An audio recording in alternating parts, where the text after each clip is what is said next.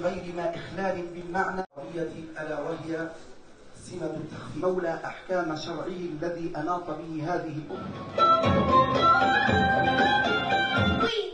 فوجدتها كغزالة بر أو تلك التي تحفظ على الأمة تراثها.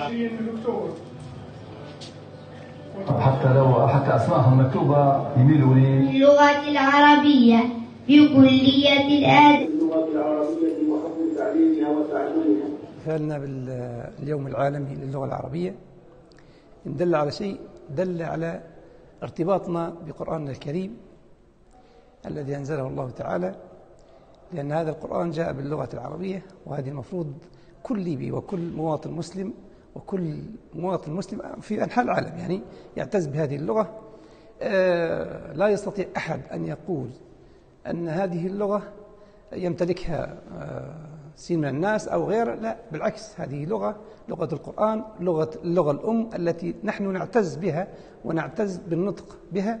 آه، إلى جانب ذلك نحن الآن آه، يتكلمون عن الترجمة ويتكلمون عن الترانسليشن وما ذلك من الكلام اللي هو باللغة الإنجليزية.